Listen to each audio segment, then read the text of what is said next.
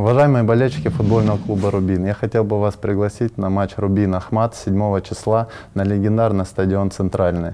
Ждем вас, нам нужна ваша поддержка.